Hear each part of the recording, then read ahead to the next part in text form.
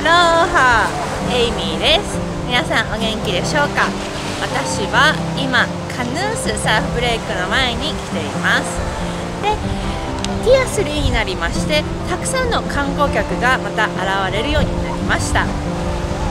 ご覧の通りあちらに、えー、カテマランまたカヌーがあります。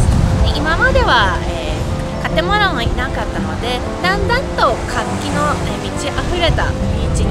きています。でレストランなどもオープンしだして、えー、みんないろいろなところで食べれるようになってきました。でこれからが楽しみのハワイとなっています。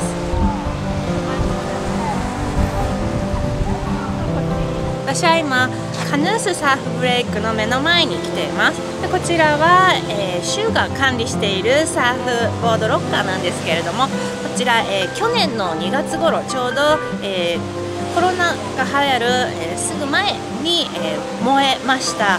であのどなたかがやったやったのかまだ分かっていないんですけれども火がつけられてたくさんのサーフボードが燃えました。で横にあるビルももうあのだんだん、え燃えかかって、えとても危なかったんですけれども今新しく、え併設されて綺麗になりました。で今見たところですねまたレンタルサーフボードが、え再開していますね。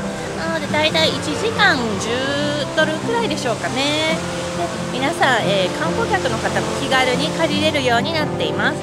でこちらのカヌースサーフブレイクなんですけれども、えー、なが楽しくサーフィンできるように下が砂または小さい岩になっています。で足が、えー、ボトムについても危なくないようになっていますね。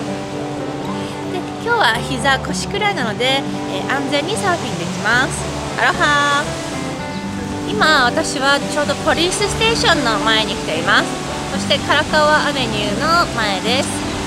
でたくさんの観光客が行き来するようになっています。ティア3になりましてどんどん人口が増えているような感じがします。